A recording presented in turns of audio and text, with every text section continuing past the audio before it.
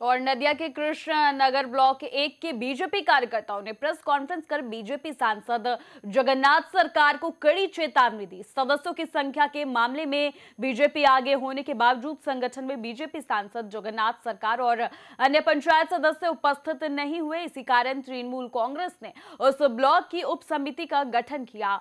इसके बाद आरोप लगे कि बीजेपी सांसद जगन्नाथ सरकार पैसे के बदले पेश नहीं हुए हैं। इसके अलावा उन पर आरोप है कि उन्होंने तृणमूल को लाभ पहुँचाने के लिए भाजपा के एक पंचायत सदस्य का अपहरण कर उसे छुपाया था। हालाँकि सभी आरोपों को खारिज करते हुए बीजेपी सांसद जगन्नाथ सरकार ने कहा कि इसमें से कोई भी बीजेपी का नहीं है।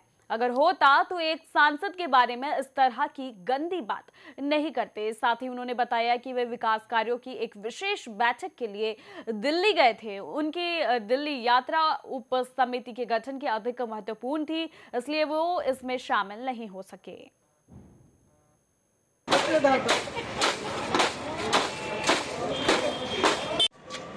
अधिकार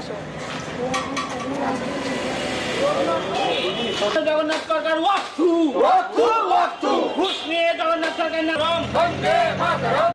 একজন সাংসদ হিসাবে আপনার সাথে যে ঘটনাটা ঘটেছে এ নিয়ে কি বলবেন? আমি মনে করি আমাদের দলের কর্মীদের একটু বোঝা উচিত।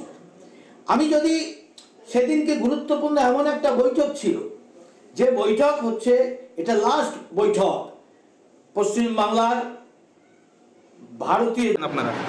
আমাদের আট তারিখে স্থায়ী সমিতি গঠন করার কথা ছিল, কিন্তু সেটা আমরা গঠন করতে পারিনি। শুধু গঠন করতে পারিনি, শুধু এক নম্বর হলো জগন্নাথ সরকারের জন্য। উনি যদি আসতেন, সেদিন আমাদের গঠন মানে পেতামই আমরা সেদিন ওটা। কিন্তু শুধু ওনার কারণেই এটা হলো না। তার মধ্যে আজকে সকাল সাড়ে নটার সময় ওনাকে আমি ফোন করেছি।